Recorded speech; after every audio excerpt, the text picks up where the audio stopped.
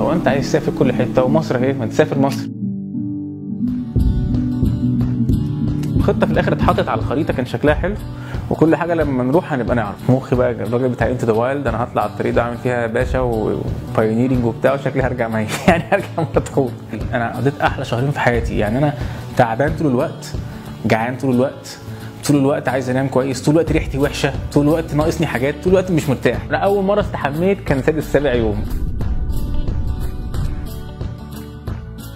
لقيت شباب كده قلت له أنا جاي من القاهرة. قال لي إيه ده؟ طب إحنا عايزين نتصور معاك. فقال لي مش سيبك غير لما أشوف هتنام فين وهتعمل إيه. طب بص أنت هتنام عندنا النهارده. في الصحراء أكتر حتة قابلت فيها ناس. من كتر ما أنا الناس طيبة اللي وقف قدامي مية على الطريق اللي بيتني عنده في البيت كل ما أقف آه اتغديت؟ لا ده هتغدى معايا. دول الناس اللي شالتني دي كلها أنا ما كنتش عملت أي حاجة. يعني ما بقتش بقى خايف من الطرق ولا خايف أنام في الصحراء. الحاجة دي حصلت أنا كنت في عالم تاني كنت في timeline مختلف. في الأول كنت بفكر هو أنا هعمل إيه بقية الأيام؟ دلوقتي بقيت أقول هو أنا لما ارجع هعمل إيه؟ أنا مش عايز ارجع بس كده silently crawling back to reality. بص على الخريطة اللي أنا خلصته.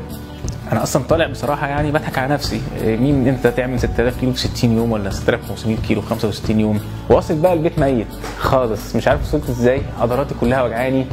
مسمر خالص تراب وتقريص. بس واصل مبسوط سعيد. عندي ابتسامة قد كده عمري ما ابتسمت كده في حياتي. أي حد ممكن يعمل أي حاجة عايز تسافر تلف مصر بالعجلة انزل دلوقتي بكرة خد عجلتك وسافر. ايا كانت الإمكانيات اللي عنده لو حط في دماغه إنه يعمل سفرية زي دي هيعملها.